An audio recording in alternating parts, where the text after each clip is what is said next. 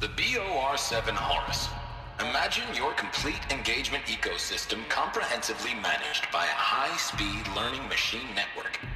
Whether your need is to replace battlefield losses or intensify force projection, the Horus's onboard manufacturing capabilities mean you'll never get stuck waiting for the next arms delivery. Simply redefine your force parameters, and the Horus will fabricate additional units to fill the ranks for an affordable per-unit licensing fee. Meanwhile, the biomass conversion systems of other chariot line models allow them to keep the Horus fueled, repaired, and ready, extending its operational tolerances beyond that of any competing Titan-class platform. That's the Horus advantage. Always regulating, always ready. The future of automated warfare made real today. The Metal Devil. So these were Faro machines too. Manufacturing capabilities. They can make more of themselves.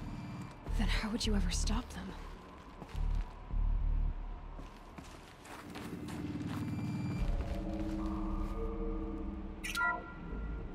The FSP-5 Khopesh provides a one-size-fits-all solution to main battle force capability.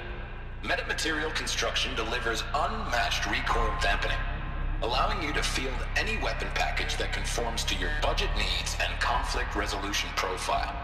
Patented biomass conversion systems allow extended emergency operations with minimal environmental impact. Multilinear target processing provides simultaneous real-time threat analysis and legal review for autonomous domestic operations. Or control can be slaved to the swarm's neural network for weapons-free force application. Either way, when it's time to call out the big guns, it's time to call Khopesh. The Deathbringer. So this was the heavy hitter. Main battle force indeed.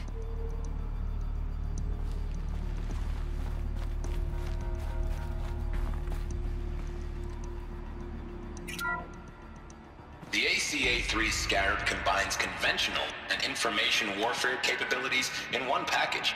Designed for high-speed, all-terrain reconnaissance.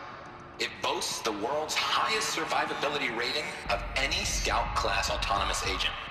Maybe it's the Scarab's emergency biomass conversion systems that ensure it always makes it back to base, even if fuel supply lines have been interdicted. Or maybe it's the Scarab's ability to slave enemy robots to its own network.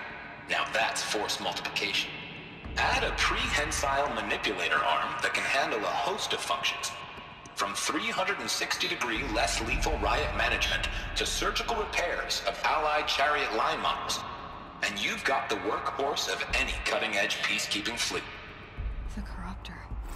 Slave enemy robots to its own network.